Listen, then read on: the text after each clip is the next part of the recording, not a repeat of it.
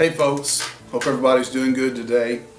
If you're like me, you're probably starting to get a little stir crazy from staying at home way too much and uh, looking for things to do. Uh, I've spent a whole lot of time up here in my, my workshop kind of piddling around and uh, I make some furniture and things up here from time to time. This week Roxanne's been refinishing and repainting a, an old cabinet that's probably 70 or 80 years old and uh, getting ready to put in a new battery on my grandson's loader here so he'll be back on the road here before long. But uh, last week I did a video that uh, hopefully uh, encouraged some folks. Uh, I know it encouraged me just uh, just doing it probably encouraged myself more than anyone else. And I kind of felt led to do that again this week.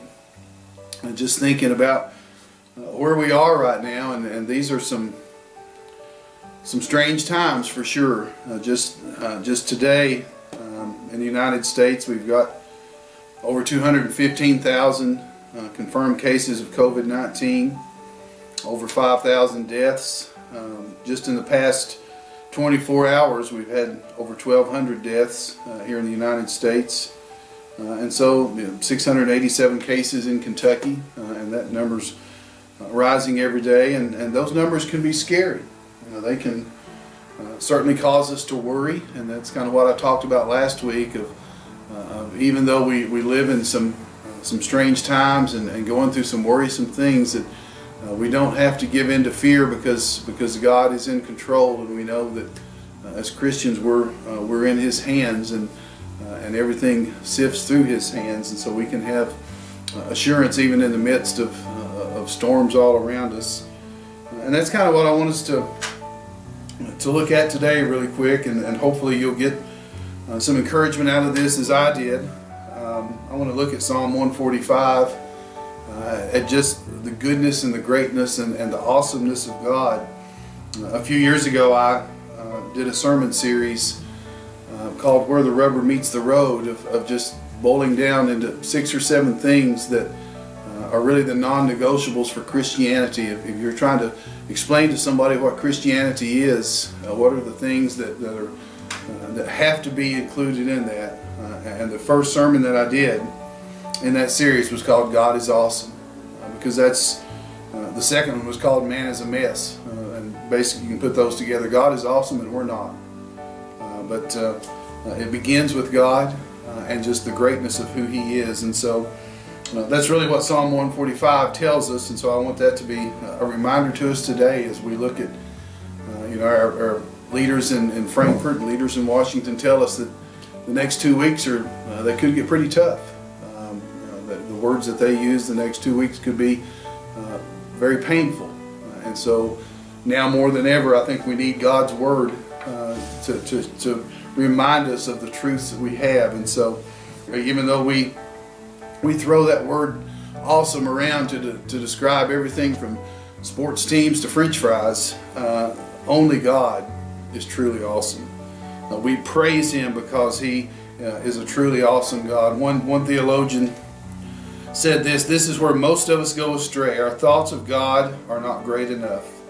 We fail to reckon with the reality of His limitless wisdom and power. Because we ourselves are limited and weak, we imagine that at some points God is too and find it hard to believe that He is not. We think of God as too much like we are. Put this mistake right, says God. Learn to acknowledge the full majesty of your incomparable God and Savior. And that's what Psalm 145 does here. It's a psalm of David, and it's a psalm of praise. And I want to read it to you, and then we'll look at, at what, we, what truths we can take from it. I will extol you, my God, O King and I will bless your name forever and ever. Every day I will bless you, and I will praise your name forever and ever. Great is the Lord, and greatly to be praised, and his greatness is unsearchable. One generation shall praise your works to another, and shall declare your mighty acts. I will meditate on the glorious splendor of your majesty, and on your wondrous works. Men shall speak of the might of your awesome acts, and I will declare your greatness. They shall utter the memory of your great goodness, and I shall sing of your righteousness. The Lord is gracious and full of compassion, slow to anger and great in mercy. The Lord is good to all, and his tender mercies are over all his works. All your works shall praise you, O Lord, and your saints shall bless you. They shall speak of the glory of your kingdom and talk of your power, to make known to the sons of men his mighty acts and the glorious majesty of his kingdom. Your kingdom is an everlasting kingdom, and your dominion endures throughout all generations. The Lord upholds all who fall, and raises up all who are bowed down. The eyes of all look expectantly to you, and you give them food, their food in due season. You open your hand and satisfy the desire of every living thing. The Lord is righteous in all his ways, gracious in all his works. The Lord is near to all who call upon him, to all who call upon him in truth. He will fulfill the desires of those who fear him. He also will hear their cry and save them. The Lord preserves all who love him, but all the wicked he will destroy. My mouth shall speak the praise of the Lord, and all flesh shall bless his holy name forever and ever. You know, as, as we look at that psalm, it's really clear that, that Psalm 145 was, was written for one purpose, and that was to praise God. Uh, to praise the greatness and the awesomeness of the Lord. You'll, you, you real, realize that in there, there, there's no request. Nowhere does it ask God for anything. Uh, there's no confession of sin uh, here to God. It's pure praise. Uh, nothing but praise to, to an awesome God. Listen to listen to, to the psalmist as he as he speaks to the Lord. He says, I will exalt you, I will praise you, I will extol your name, I will praise your name. David David doesn't wait until he's until he gets to heaven to start praising God, but he uh, he starts doing it now. He starts by expressing his praise to God every day, uh, and it's a reminder to us that uh, that praising God is is one earthly thing that we do that that we will do when we get to heaven as well. Uh, so we ought to start practicing now and praise Him every day. Uh, but but the reality is, and, and and you see it all around you that that some Christians praise the Lord and some don't.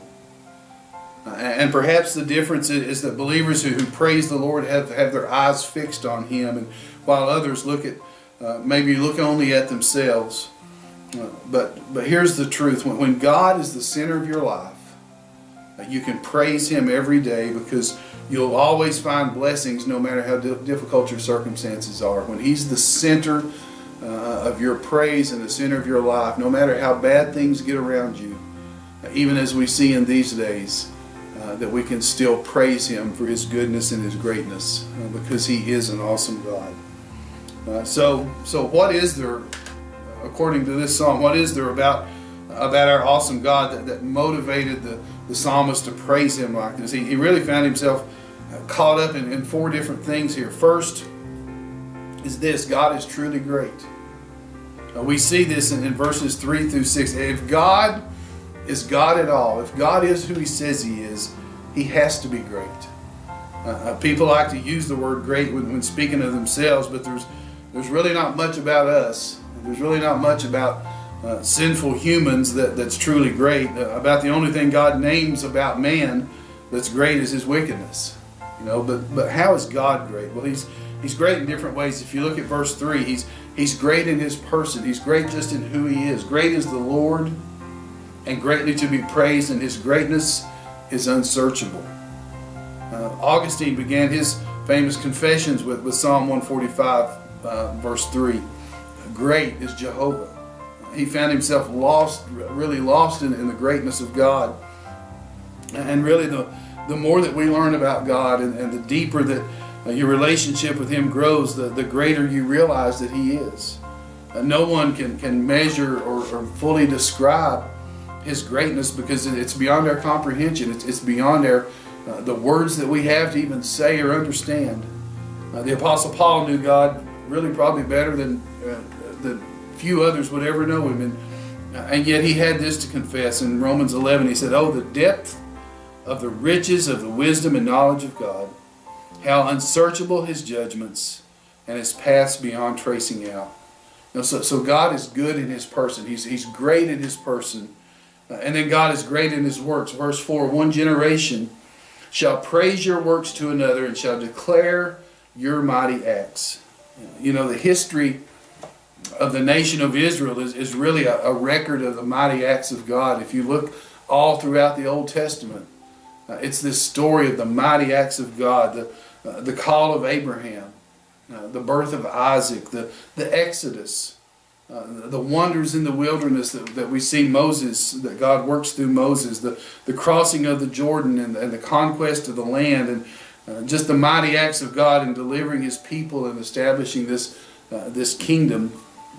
Uh, and, so as this, as this psalm tells us, you know, how wonderful it is when one generation tells the next generation of the greatness of God's works.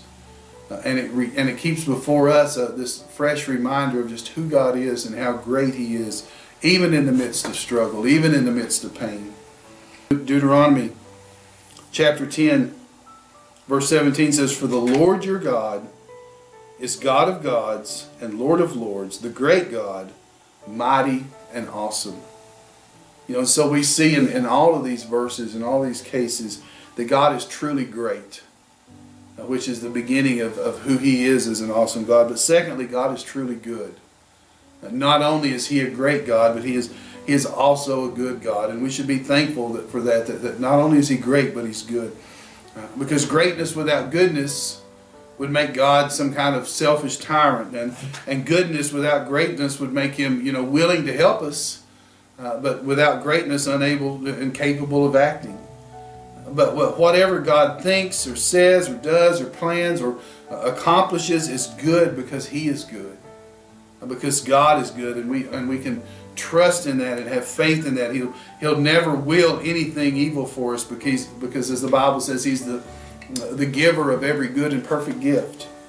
Uh, in spite of the fact that there's evil in the world and, and, uh, and let's be honest, sometimes it, it seems like evil is winning when you look around. Uh, but the Psalms in another place in Psalm 33 says the earth is full of the goodness of God. You know, if that weren't true, we really couldn't quote a verse like Romans 8:28 and really believe it. You know that all uh, that, that things work for, for those who are called according to, to God according to His purpose. You know we really couldn't believe that uh, if we didn't know about the goodness of God. God's goodness is compassionate. Look at verse 8. The Lord is gracious and full of compassion, slow to anger and great in mercy. You know, God is, is, is He's certainly not good to us because we deserve it. Uh, not because we've earned it, but, but He's good to us because He's merciful and He's compassionate. It's, it's when we realize this, that He loves us and, and He's good to us despite how bad we can be, despite the fact that we don't deserve it. Uh, it's when we realize this that our hearts are, are, really filled with praise to God. You know, who are we that, that, that He should be so good to us? Uh, pride is pride is, is, is really the great enemy of praise. And when we get this idea that, that we deserve God's blessing, that, that God should bless us, that, that we deserve His blessing, and uh, then we, we really end up only praising ourselves and we find ourselves unable to praise God. Uh, so if anything should, should lead uh, sinners like us to repentance, it's, it's, it's the goodness of God. We like to think it's we like to think it's the opposite, that, that it's the badness of man that makes people repent, but that's that's not true. You think about Judas. Judas Judas knew he was bad, but he didn't. It didn't turn him away from evil. Uh, but if you think about the prodigal son uh, in Jesus' parable, he when he realizes how generous and good his father is, he repented and went home. He didn't repent because of his badness. He repented because of the goodness of his father. And so as we worship God and praise his goodness, uh, we should repent of our own sins and, and forsake them and leave them behind. You know, how can we, how can we sin against such a good and generous God? You know, so God is, is He's truly great. God is truly good. Third, God rules in righteousness. Uh, we see this in verses 11 through 13, and uh, the emphasis here is on God's kingdom and His, his righteous rule in this world. And uh, and many people have this idea today probably particularly in these times, that, that, that God is not reigning, uh, that Satan is somehow in charge, and that, that, that God won't rule until Jesus returns. But that's, that's not biblically accurate because, because we know, because God's Word tells us that, that Jesus is on the throne. Jesus Christ is on the throne today, and we need to keep in mind that, that, that Jesus is enthroned and he's, he's completely defeated all of our enemies. Uh, and we certainly can't understand all the complexities of, of God's work in this world. We certainly don't understand everything that we see happening around us right now. Uh, but we walk by faith, and, and, and often our faith is, uh, is tested by events, uh, is tested by experiences that, that seem wrong. Uh, but we remind ourselves that, that, that, God is on His throne. Even in the midst of a, a global pandemic where it seems like there's so little that we can do, we're reminded that God is in control. God is on His throne and He's working things out for, for our good. He's working things out for His glory. Uh, and, and, so these are things that remind us of, of, of, the awesomeness of our God. Why, why is God awesome? He's truly great. He's truly good. He rules in righteousness. And finally, number four, He is gracious. God is gracious. Uh, we see this in verses 14 through 20. He's, he's a great God on the throne, yet He's a God who is near us uh, concerned about our needs. Our God is so great that, that He's high above us, and, and yet He's right here with us at the same time. You know, we've all met someone who, uh, who, who felt like they needed some kind of sign that God exists. You know, you might even be that person that, you know, well, I would believe in God if, if He would just give me some kind of sign. Uh, but in, in, in Psalm 145 here, David points out that we have all the signs we'll ever need. God has given us sign after sign after sign. And he, and he opens up this psalm with, with personal praise. I will exalt you. But then he closes it here uh, by asking every creature to praise God's holy name. All flesh shall bless his holy name forever and ever. Uh, and halfway through the psalm, in between those things, uh, he called on all of creation and all the saints to praise God because he is truly an awesome God. Uh, and let's continue. And I, I want that just to be, that's my encouragement to myself. That's my encouragement to you is just uh, continually to offer praise uh, to our to our awesome God, particularly in, in, painful times and uncertain times where we find ourselves now. Uh, this is when we should praise God all the more uh, uh, in remembering of, of who He is and who we are in Christ. as the psalmist says, let every creature praise His holy name forever and ever. You know, I hope that's a, I hope that's an encouragement to you. Uh, that's uh, that psalm is, you know, times when you just feel uncertain about things or, or you know facing the things that we're facing now. It's it's a good reminder uh, of who God is, that He is contr- in control, that He is an, an awesome God, and we can trust Him and we can have uh, faith in Him uh, last week I shared a song with you that uh, uh, that I thought really spoke to me at that time, and, and I got a couple other songs. Just in thinking about this, uh, obviously uh, the Rich Mullins song "Awesome God," uh, our God is an awesome God. there's a lot of different versions of that. Um, I made a a little video when I preached this sermon a few years ago. I made a lyric video that kind of went with that song, and I'm going to try to uh, to upload it on Facebook and hope you'll take the time to, to watch it and just and, and worship uh, thinking about the truths that are in that song. And then there's another song that's uh, simply called My God is Awesome. Uh, and it's been recorded by uh, different folks. It's a, it's a gospel song. But just within that song, it talks about these different attributes of God that, he, that He's mighty, that He's holy, that He's great, He's our deliverer, He's our provider, He's our protector even in difficult times, even in uh, a global pandemic, even in the middle of COVID 19. Uh, God is God, uh, and He's an awesome God. And so I'm going to uh, also made a lyric video for that. Um, for that service when I preached that sermon before, I'm going to try to upload those two to Facebook and, and hopefully they'll work. Uh, if not, you can look those up on YouTube. But uh, just be reminded in, in, today and the days to come of uh, even as we see uh, maybe painful news, uh, maybe unsettling news, even disturbing news, uh, that, uh, that God is who He says He is, that, that His Word is true, and that we have the promise in here that He is in control, that we serve an awesome God who's truly great and He's truly good, and He loves us. and I just hope this has been an encouragement to you.